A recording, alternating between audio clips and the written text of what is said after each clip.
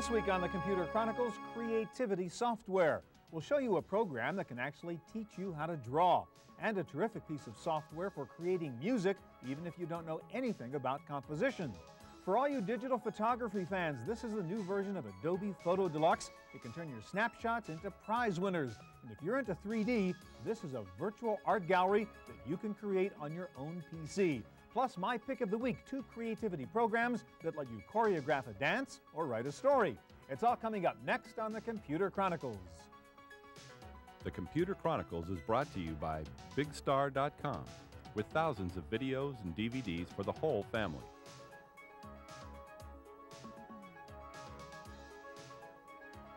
Additional support by TechWeb for up to the minute technology news.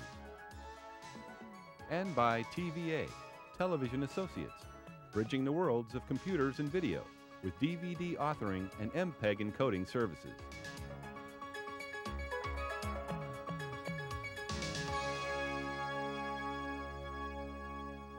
Hi, and welcome to the Computer Chronicles. I'm Stewart Cheifet. It's kind of ironic that computers, which started out as number crunchers, spreadsheet engines, have evolved into creative tools for doing things like art, dance, and music.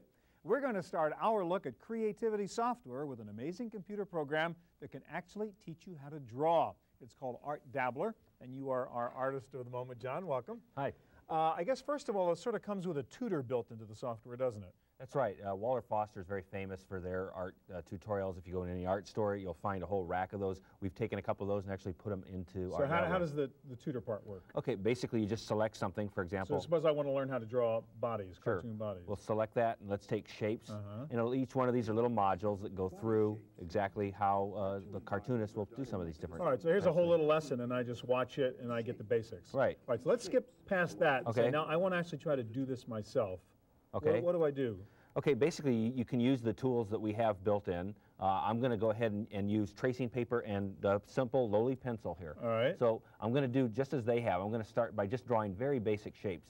One of the things I always try to explain to people, you know, when you're doing the introductory drawing, Kind of loose and sloppy. Uh, keep it very loose and sloppy. Many people kind of keep their hand overly Right, tight. So basically, the lesson would have told you, hey, just take these little cylinders and keep on drawing them, clicking them all together. That's right. what the body's so made you can of. see I'm basically kind of using these little sausages just to build a, a, a simple Right. body shape. Now you said tracing paper. What's that? Okay, tracing paper is just like the real thing. I can turn this on. I'm going to go up one sheet, and I'm going to turn tracing Well, so you paper can draw on. top of what you just did. Exactly. I'm now on another sheet of paper, did. but I can see Okay, through to my rough drawing. And why do you do this? That's so I can use this now as kind of a guide, and I've switched to a pen, a more final kind of tool. And now I'm going to start actually drawing uh, using the underlying framework. Okay. And once again, th- that looseness that you use up front is now translated here into kind of a, a framework upon which I can actually it. lay and then my you would get art. rid of that paper underneath, and you'd have just that right, final it- sketch on I can top. turn this on and off. You can see how I'm already starting Sure. to get a much more kind of finished rendition. Now, suppose you want to add texture to it, you know, or, or shade it or something. Okay, the next thing I would do is use a tool, uh, in this case like an airbrush. This is where I can go in and start to Mm-hmm. add shadowing, highlight. Uh, if I want to add color, you know, piece of chalk maybe, uh, give them some blue jeans here. Not too So, bad. so all of the traditional tools are basically there that you'd normally associate Now, with. one nice feature in this, you have something called, I think, session playback, in which you can Yes. actually recreate the process, so you sort of learn by really seeing what it took to create a finished drawing. Right, I'm going to play a drawing that I did earlier, and basically what this does is take the drawing work that I did at an earlier point. So this is an actual drawing you did before, Mm-hmm.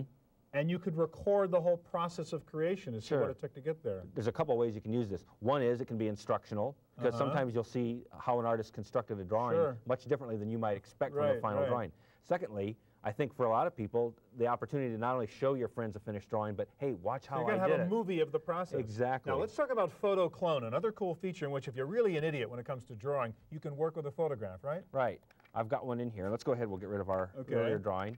This is a photograph I took in uh, Paris a few years ago on the underground. Right. And basically, what I want to do is take it from that photographic uh, point of view and make it more of a, a, a rendered drawing. So there's a couple things I could do. As we did earlier, I've got tracing paper here. So, you can actually draw on top of the. Sure. Okay. So if I if I were to start to go in here and want to use this as a source for a drawing or painting or whatever I Mm-hmm. want to do, I can use it that way. Is that cheating? I mean, would you recommend that?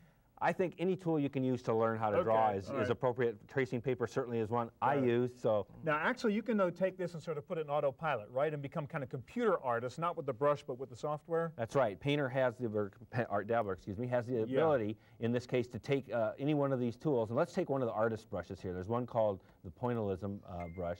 What this actually does is allow me to start to uh, lay on what would be uh, the equivalent of uh, kind of a pointillism kind of drawing. So I'm going to go in here, play auto clone. So kind of automated artist here. Exactly.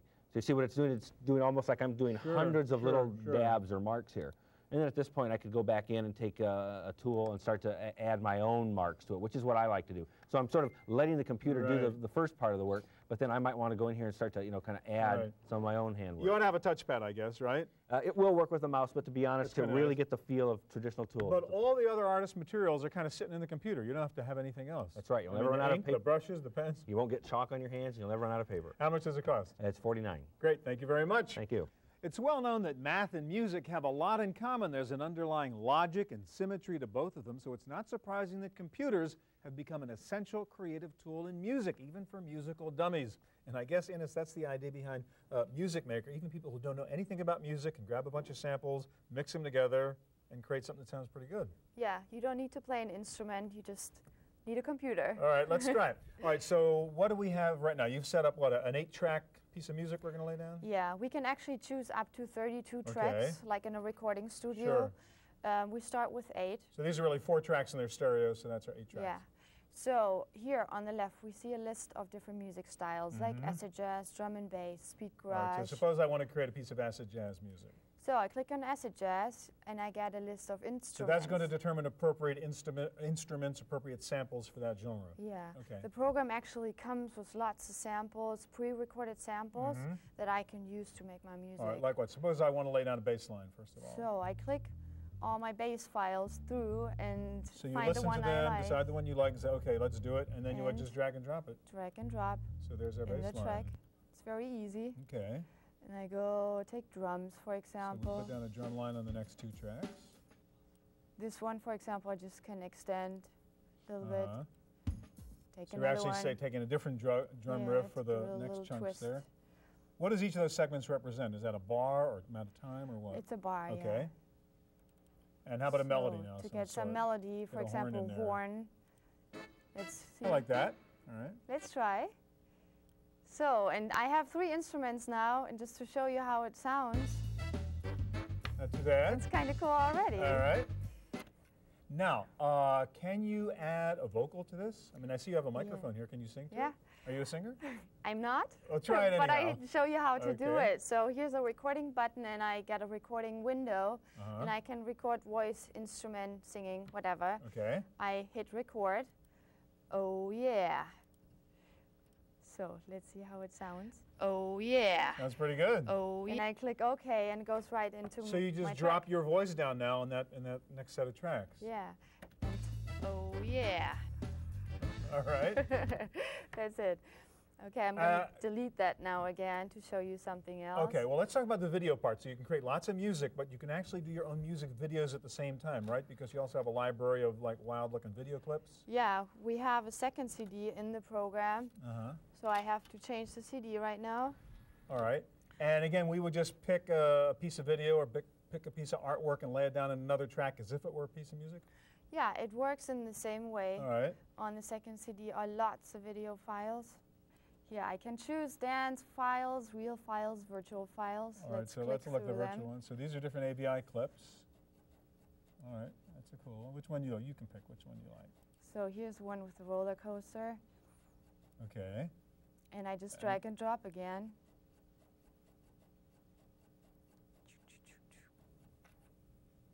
Okay. And then I play it back together. And there in the bottom right is our finished piece of music video, huh? Yeah. And I can even film something with a camcorder, load it into the computer, and use that for Okay, so I can take shots of you dancing or something, drop them in there, and that would be Yeah. the piece, of video that goes with it. Exactly. All right, now suppose how much, uh, how many samples and pieces of video comes with basic about 1,000 sound files and about 600 video All right, now I see you have sort of add-ons you can bet. So if you're into like techno, you buy this sort of add-on with all the techno tracks, huh? Yeah, or, Or we have there are all kinds of music hip hop styles. kind of stuff. And what's this, more video stuff? Yeah, so you have more video files and you just never get tired of the program because you can do so much things. All right, so music for dummies, huh? All right, how much does it cost? It's 40 bucks, That's $40. great. Thank you very much.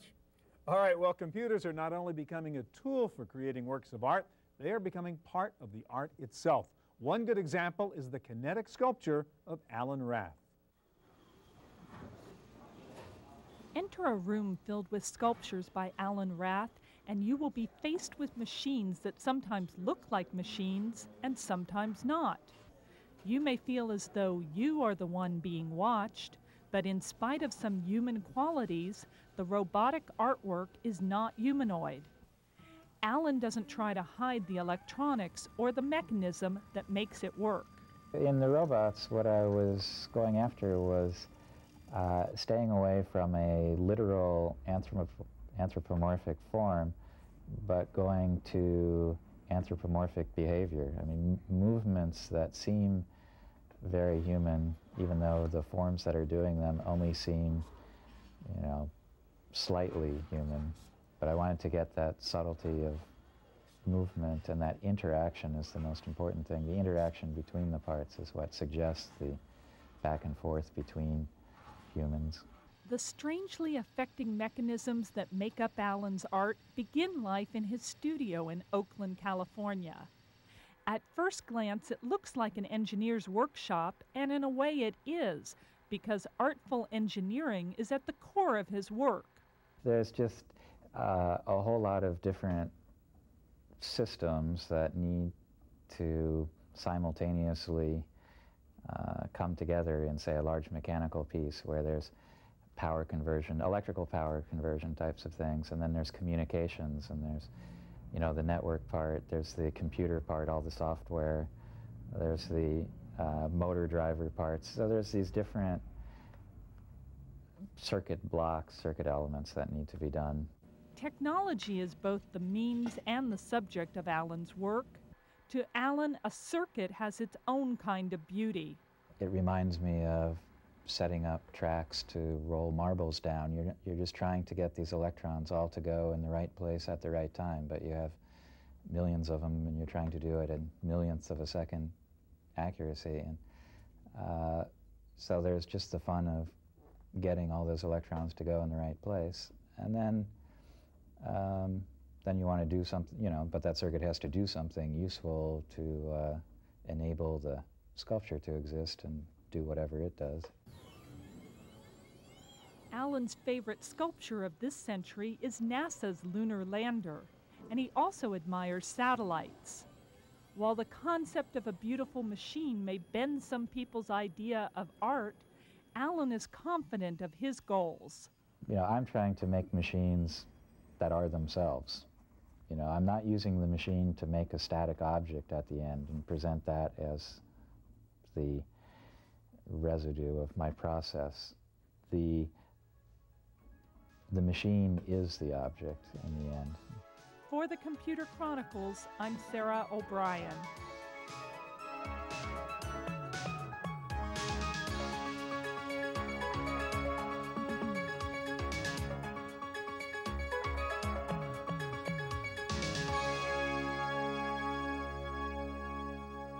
One form of creativity that has swept the world over the past few years is digital photography. But taking the pictures is only part of the creative process. It's what you do with the photos afterwards that can turn your work into art. And I guess that's why you get something like Photo Deluxe from Adobe. That's right. All right, so we get all these digital photos, and most of us aren't professional photographers, and we want to make them better. Right. So how do you do that with something like Photo Deluxe? Well, let's see. The first thing we want to do is bring our photo into the computer, and we help you do that with Photo Deluxe. Um, you see here, I've set up a gallery. We also help you organize your photos in Photo Deluxe. Okay. So I have a gallery here of my most recent vacation photos. So we just drag in a picture, you just drag and drop. It's as easy as that. and immediately we see some problems. Yes, So absolutely. first thing is to fix problems, I That's guess. right. So you'll see we've got lots of quick fixes you can do in this panel here. Right, The we, got the, we got the red eye, I see that We've right got away. red eye. The first thing we'll want to do, though, is just do an overall touch-up of the photo. So I'm that applying an instant fix. What it does is looks for the colors in the photo and makes them more So- vibrant. Okay, general cleanup job. General okay. cleanup. But now I want to get rid of those red dots in the poor kid's eyes. That's right. Dylan is notorious for red eye. So the first thing we want to do is just drag a rectangle around Dylan's And eyes. say, hey, in that section, get rid of the red That's dots, right, and you'll see in just two steps, it removes the red Oh, eye, keeping all the natural highlights in the eye. So now we have a much better photo of Dylan, but there are still some problems. This Yeah, photo is- cropping right away, because most people have wide shots and a lot of junk you don't really want in the picture, right? Absolutely. They take it Easy from to too solve? far away. Very easy to solve. And again, this is one of the advantages of going digital.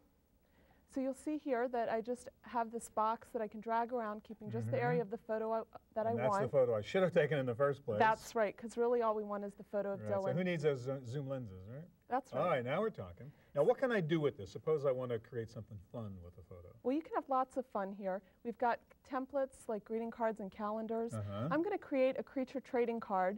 Um, this is a fun That's activity a big for thing now. Halloween. The kids make like trading cards out of That's themselves, right. And they bring them to school and then they want to share them. Okay. So you can do that very easily here. Um, we have hundreds of different templates and clip art and stock photography that you can use to make your photo look better. Mm-hmm. Provide some context to your photo. Again, this is one of the advantages of having a digital photo. Right. You can put it in a template and All right, so I've got this whole little library of backgrounds and stuff I can play with. That's right. And we've got one here. That's right. So I can just drop them in? Absolutely. You see, again, we just walk you through the steps, making it very easy to know what to do. Because most novice photographers, they don't, they're not, There they might is. not be that creative. So what we do is we put a creative framework work around what you can Let do. Ask you quickly about the clip art because you have a really cool feature where you can customize it so you don't have that same boring clip art that everybody yes, else has. Yes, we do. We found that people have tons of clip art, but they don't use it, and it's because it looks like everyone else's Mm-hmm. clip art. So let me go ahead and grab this monster and add this to the creature trading card. Again, it's just drag and drop. And what's fun about this clip art is you can change it to make it look the way you want it. You can add a shadow. Uh-huh. You can change the expression of this monster. So any one piece of art's a collection of art, That's really, right. because It's a collection of it. art. You can change the All style. right, so let's pick one and then just, oh, so we can drop it in that card That's now? right. So you see now that it's on the card. Of course, I don't want it covering Dylan, so I can move it around. Let me just enlarge this so I can show you what I'm doing a little better. I can rotate it. And then when I'm done, um, I can go ahead and change the text, because of course this isn't Winnie, this is Dylan. Right. And now we have a really The cute. trading card. That's right. Real quick, I want you to go to one other tool, which is really a high-end thing you've brought in here, which is the clone tool, which people really love. Could you show us how to do I that? I sure can, Stewart. Let me grab this photo of my friend Carol and John, who were on vacation with us. Okay. And when we got back from vacation, Carol told me she had a little tiff with John. She wants to get John out of the picture? That's right. She wanted John Literally out. and yes, and figuratively. so let's go ahead and grab the clone tool. And again, we teach you how to do that. We remove an element because this is one of the most um, requested things that users want to do is remove something So it's out a of a really photo. nice picture of Carol, but John's history. That's right. Everyone has an ex-boyfriend or someone that they want to remove from the photo. so let's get John out of the picture very quickly here. so you You basically see- cloned the wall texture and you're replacing That's John right. with a wall. I'm sampling which is not a bad idea, probably, given the way that relationship went. That's right. And I have to say, this is just for demo purposes only. Carol and John are doing just fine. Oh, okay. So you see here that if I grab a smaller tool, I can go in and paint around and really do a good job um, doing this very quickly. But you get the idea. So if you were to look away and look back, you probably wouldn't know that John was That's ever in this right. picture. And you can be real artsy and actually take pieces of her and clone her, too, right. if you really want to now that creative. you've learned how to use the tool, you can grab the clone tool and you can have fun with it. That's neat. You can make many carols. And you know Photo- what? This is one of John's worst nightmares at this point. All right, it's Photo Deluxe, and we don't have time, but you can output the T-shirts and, and cards and all Absolutely. kinds of stuff. You can do all kinds of things with All right, Photo Lonnie, Deluxe. thank you very much. Sure. Well, the trouble with digital photos is they are digital. Many people have a problem figuring out how to show or share their photographic works of art. The internet is one way, but the computer is providing totally new environments for displaying your creativity. And I guess that was your idea, Yakov. You've invented this sort of 3D photo gallery in which I can show my photos as if I were an artist and ran my own art museum, right? Absolutely correct. Now, how do we start? So this is like a blank gallery here to begin with? Sure, let's begin with a blank gallery and we will start to put first picture here. It's very easy. You change, you choose the picture you want to put. So I have my images here and I just drag and drop them into you can drag it from the camera as well immediately and Okay. images here. You can come close and see. And you can add another image to another place. and All right, so let's just drop in uh, one or two others just to see what this might look like. So these are, you know, family photos you might have taken, and this is a cool way to, to show them off to the relatives and so on, right? Now, can you move these photos around and drag and drop them Sure. and change the layout of the, Absolutely of the right. room? It's very easy. Uh-huh. Oh, now Co- even putting her photo on the walls. Now, let me ask you that. Actually, you can design the room itself, right? Decide what kind of room this looks like. How do you do that? The uh, product has uh, several pre-built styles, and you can build your styles yourself. So you double-click on one of the style you choose. Tell it's applied, and you can apply it to Uh, all the room or only one So you them. can pick a style for the particular museum or gallery you're putting together. and so good, if you want to design your own style, you can save it just it. as is. Let's walk into the next room for a minute and start again. Now, suppose in this room I, I, I take uh, pictures of flowers. I'm big on flowers. I want to create a flower uh, exhibit in this room. You choose several of them together, and you put it all immediately on the. So I can just grab a bunch of pictures at Right. once, and the program automatically scatters them around Mm-hmm. uh, inside this particular room, and it's now the flower room.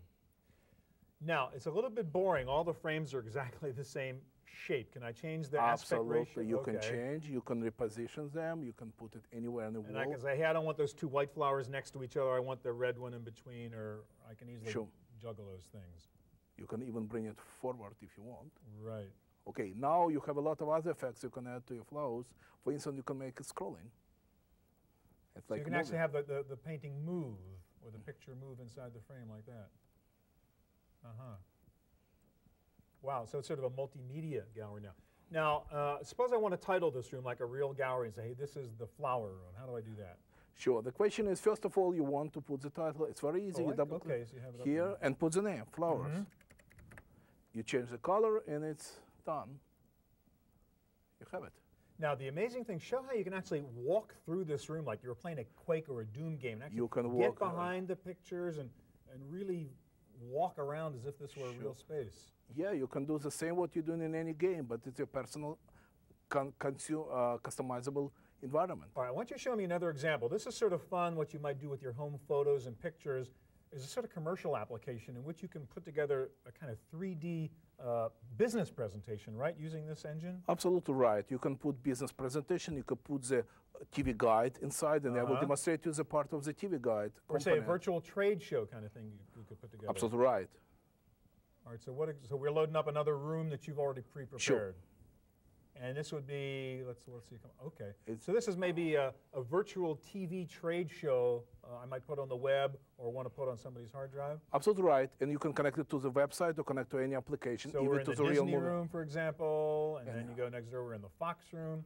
And you go to ESPN room. Yeah, this is like like a really mega PowerPoint presentation, is what Sure, you're doing absolutely right. And you can again add if you want to scroll this Uh-huh. advertisement. It's going here, like in the movie. Now, also, any one of these pictures can be a hot link to a website, right? Absolutely right. So we could just click on a picture, and that would take me to whatever the the ESPN website or the Bulls website or Yes, whatever. I you wanted connect it by the putting World Wide Web component, and you are going to the website directly from this multimedia Right. gallery. And I can actually, could I put this gallery up on the web too? Is that possible? Yes, absolutely correct. All right. Final thing, you've now got something where you can actually put movies inside Absolutely these right. frames. This is the newest development, and it's I believe you will be excited to see this. Okay. So again, we start with a blank room, and you just decide to fill it in with something you've put together ahead of time. So you're just going to grab an AVI file and drop it into one of your frames. So basically, uh, you're putting together a gallery of movies hanging on the Absolutely walls right. instead of still pictures. Right, absolutely correct. And now Wow. you can drag and drop this movie the same way you did it with pictures. Huh? Wow. You have environment. We believe that uh, will be added to the TV. 3D photo gallery. Yeah, 3D TV. TV, thank you very much. That's our look at creativity software. I'll be back in just a moment with my pick of the week.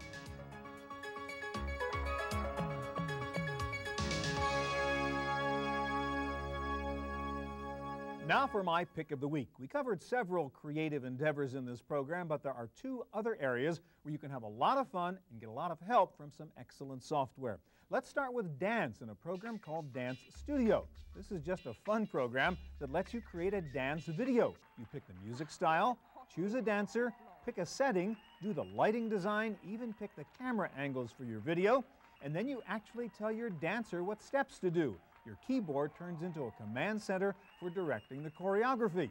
And if you don't like what you've done, you can go into the editor and modify the dance in the same way you would edit a video clip. Dance Studio also comes bundled with Mixman, so you can even do an original mix of the music for your video. The other program I wanted to mention is a fascinating word processor for writers called Writer's Blocks. What this program does is help you organize your ideas, whether for a screenplay or for a speech, by putting separate thoughts or story ideas into separate blocks. The software then lets you manipulate the blocks to organize your story in the most effective or dramatic way. It's kind of like having piles of index cards on your desk, only with writer's blocks, you can do it all inside your word processor and automatically save the story sequence that you like. So that was Dance Studio for MetaCreations and Writer's Blocks from Ashley Software. That's it for this edition of the Chronicles. Thanks for joining us. We'll be back here again next week, of course, with the latest in software, hardware, and the internet. I hope we'll see you here next time. The Computer Chronicles is brought to you by BigStar.com with thousands of videos and DVDs for the whole family.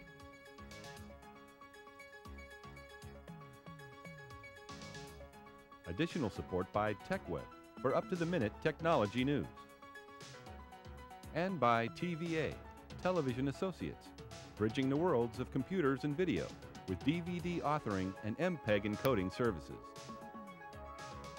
To purchase a videotape copy of today's program, call toll free 1 888 310 7850. Please specify the show number and the topic. Next week on the Computer Chronicles, the secrets of email. We'll show you how to protect yourself from the biggest email scourge, spam. Are you having problems opening up email attachments? There is a very simple software solution. Want to have fun with email? We'll show you how to add animation and sound effects. And for the ultimate in email, video mail, with this package called Create and Share.